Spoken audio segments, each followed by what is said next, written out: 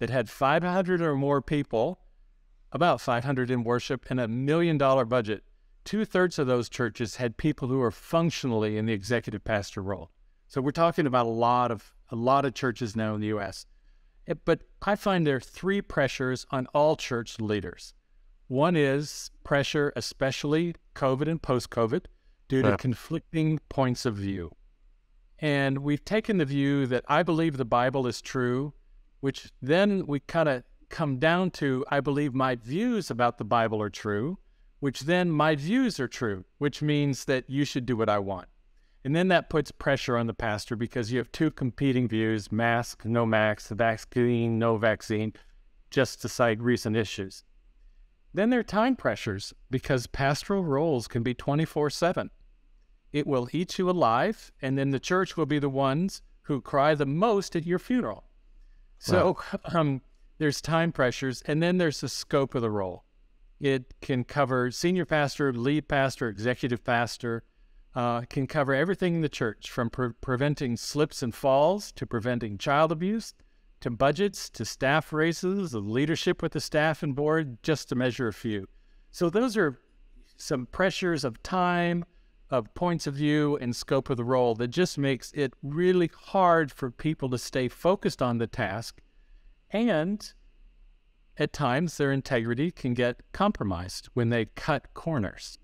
Uh, yeah, no, I hear you. I think those are some tremendous pressures, you know, that we see church leaders facing. And I think, yeah, like you, uh, you know, definitely share that burden as well. And yeah, I think that gets into even a, a good question too, David, just around maybe maybe it's those pressures maybe there's some other elements to the mix as well but are there any particular patterns you know that you might see especially yes we live in a day and age where it seems like we're seeing hearing about you know all too many of these uh, leadership integrity failures um, you know can you speak to maybe even some potential patterns uh, or warning signs that you might see? Well let me give you the three biggest ones. First would be burnout due to stress and where we see stress is often in vocal snaps and fits, where the person pretty quickly says, Oh, Michael, I'm so sorry I said that. Wow. But it happens more often than the person cares to admit in a variety of situations. It's showing that on the inside, things aren't well. The rubber band, you know, you can stretch a rubber band so far before it snaps. And that person is snapping more and more often. And kind of the solution there is you've just got to guard one day and seven rests. It's biblical from the principle of creation. Don't want to call it a law, but it's the principle. If it was good enough for God to rest, it's good enough for us to rest. Another aspect of that is many folks are not taking what I call think time. This is a mm. time, hopefully every day, a half an hour to an hour, to think about the next day and the next month and the next six months and really get ahead of issues so that you're not stressed out when these things come up. So that would be the first one, Michael, would be burnout due to stress. A second one would be burnout due to money.